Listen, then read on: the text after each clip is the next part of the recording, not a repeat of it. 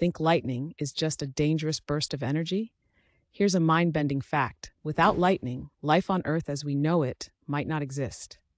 Every second, lightning strikes our planet about 100 times, and each bolt does more than light up the sky.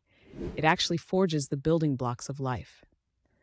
Here's how the air we breathe is mostly nitrogen, but plants can't use it in its natural form because nitrogen molecules are very stable and inert.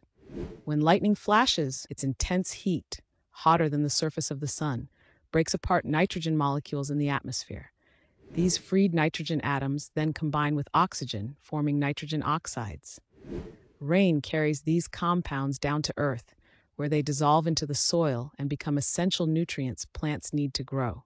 This natural process, called nitrogen fixation, is so vital that scientists estimate lightning produces up to 8% of all usable nitrogen on the planet. Without it, our crops and forests would starve. So, next time you see a storm, remember lightning isn't just a spectacular light show, it's a natural factory, silently fueling the cycle of life with every powerful strike.